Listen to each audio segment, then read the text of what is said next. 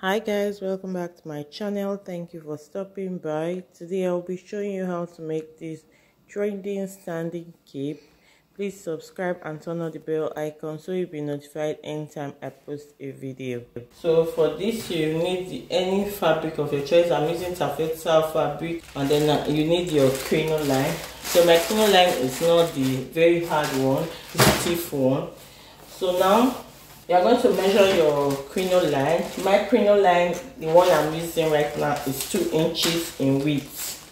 I'm going to be cutting my fabric and fold. If i fold it i'll be cutting 2.5 inches. I'm going to measure 5 inches. So when i fold it it will be 2.5 and i'm going to use half inch to stitch it. so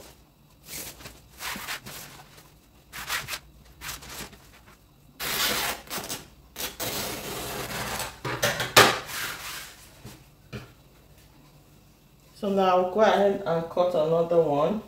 So now guys after cutting it I'm going to run it to the end with half an inch. And I will do the same thing for the first one I cut. I'm just going to run it half an inch to the end. So I'm done running it. I'm just going to turn it out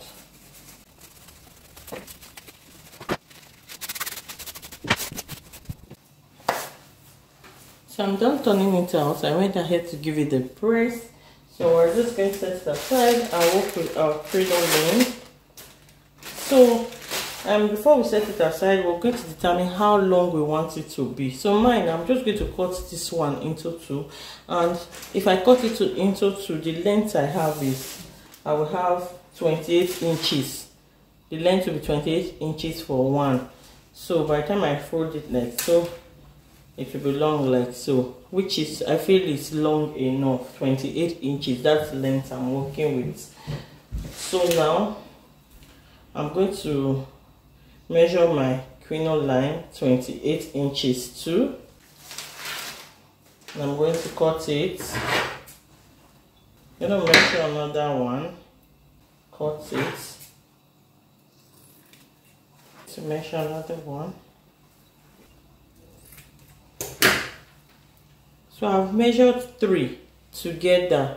This will be for just one one of the strands. So now I'm going to join it together here. I'm going to sew here and sew the sides down to the I'm just going to sew it. I'm going to sew it through I'm going to join these three together to form one. So I'm done joining it see? Just one stitch around it. The reason I'm joining three together is because mine is very soft. If you are lucky enough to get the stiff one i don't think you will need to um join like three together. You can even make it like five depending on how stiff you want it to stand.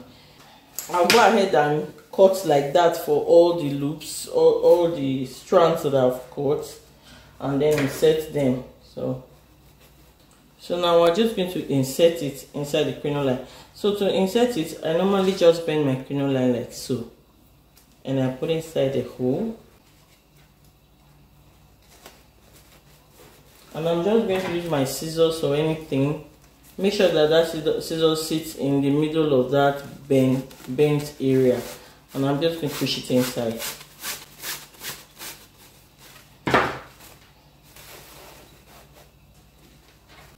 so once i'm done doing this i'm going to go ahead and close this edge.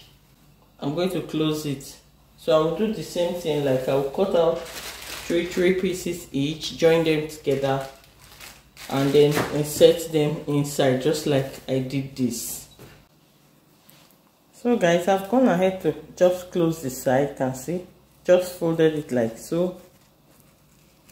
The edge that was how i closed both sides so now you are going to just determine wherever you would like to attach it.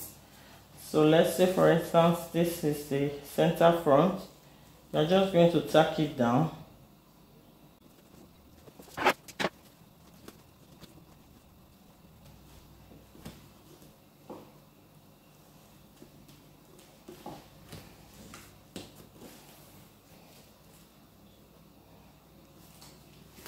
And you're going to tack down tap it down through at the back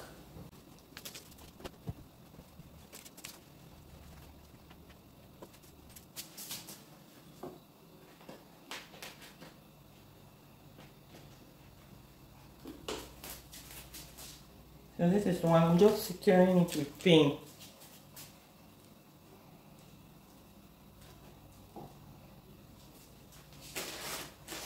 So you take the other one, I'll place it on top.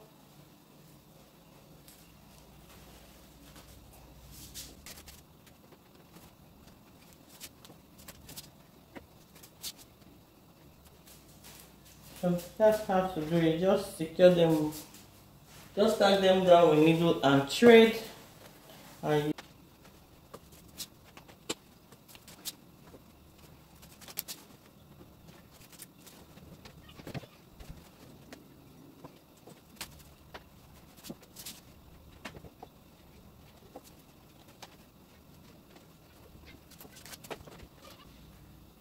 So once you are done arranging it just the way you like it, you're going to go ahead and cover that place with applique and cover it like so